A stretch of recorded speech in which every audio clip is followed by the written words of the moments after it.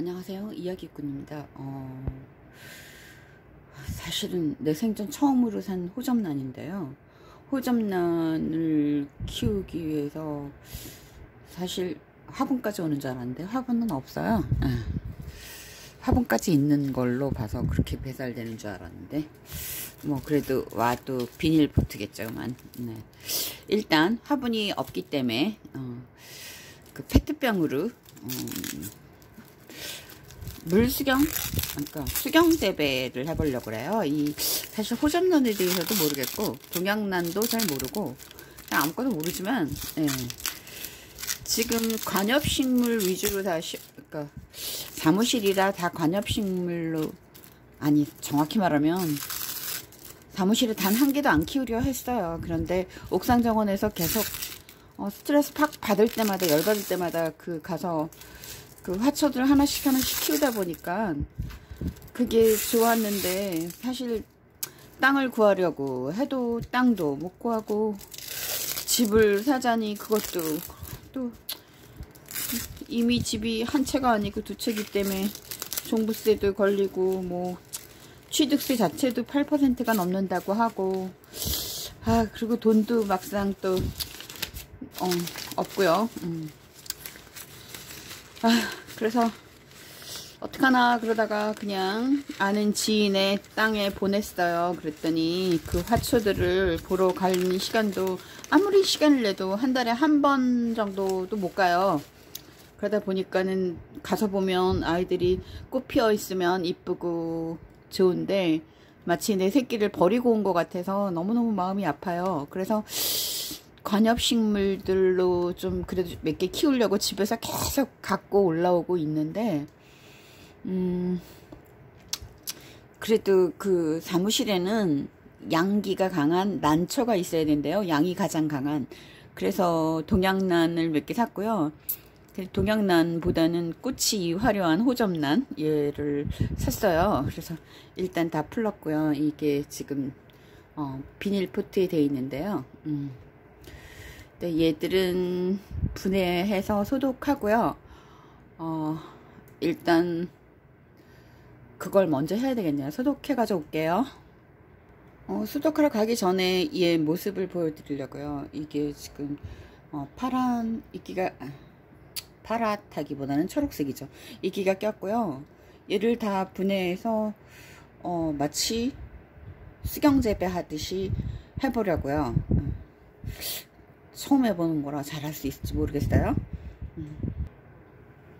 호접란이 어, 그 이끼들을 다 빼내기 위해 제거하기 위해서 어, 유한낙스 약간 탄 물에 소독해 놓고 있어요. 그래서 나중에 제거를 하더라도 그때까지는 제가 어, 얘가 지금 어느 정도로 클지 몰라서 어느 정도를 잘라야 될지 모르겠는데 뿌리는 낮은 화분에 있으니까 칭칭 감겨져 있어서 조금 더 클지도 몰라서 좀 크게 잘라 볼게요. 음, 여기 윗선을 자르고요. 그냥 해도 버벅될 텐데. 촬영하면서 한다니까 더 버벅대고 있네요. 음. 가위를 자르고요. 음. 거리로 쓰려고 얘도 한번 구멍을 뻥 내고요 아 예전에. 종이면 자르다가 플라스틱 자르니까 잘 안되는 것 같죠?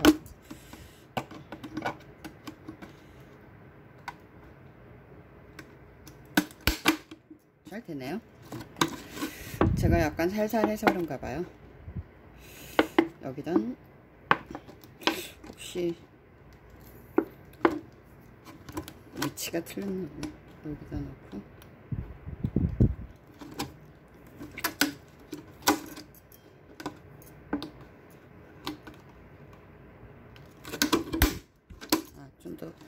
힘이 약해서 그랬나봐요.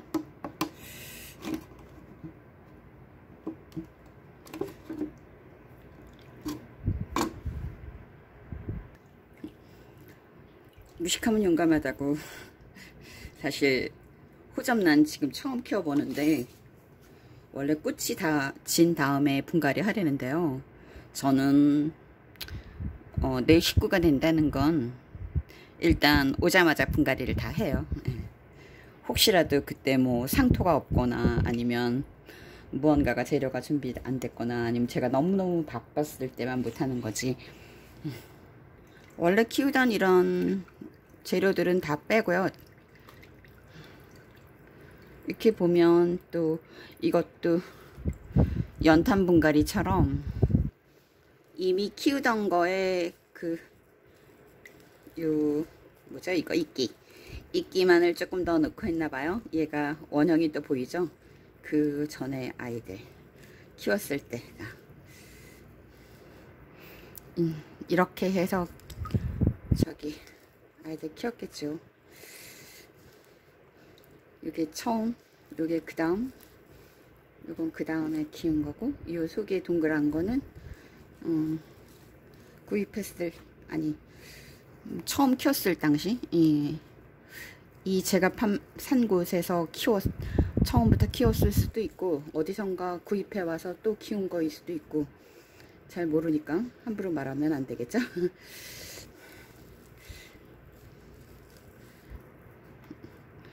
어쨌든 저는 이걸 다 제거하고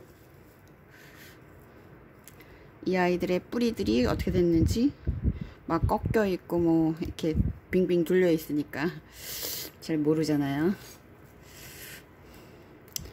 아고 그래도 부러뜨렸네 지금 건드려 가지고 음. 어, 시간 많이 걸리니까 제가 뺄게요 어.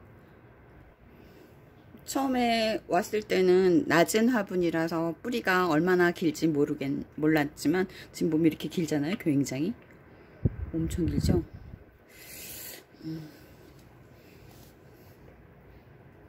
저는 그냥 관엽식물이나 그냥 보통 화초들 키우듯이 길이를 자르겠습니다. 저는 너무 긴 거는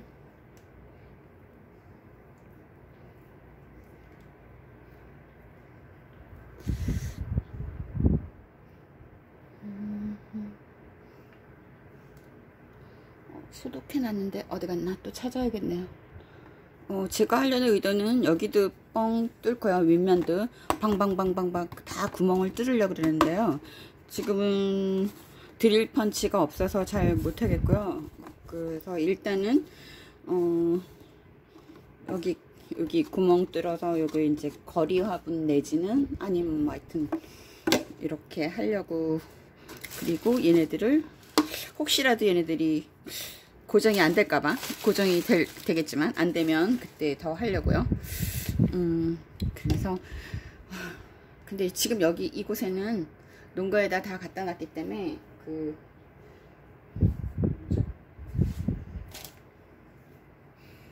철사 그게 없어요. 어 또 가위 가져왔는데 가위 또 잊어버렸네. 호접란이라서 꽃이 예쁜데 자꾸 잘 화면에 안 잡히게 제가 찍어서요 방향을 확 바꿔버렸어요. 얘를 자르고요. 이제 상한 것 같기도 하고 길이도 길고 그래서 자르고 음, 나머지는 대충 이렇게 해서.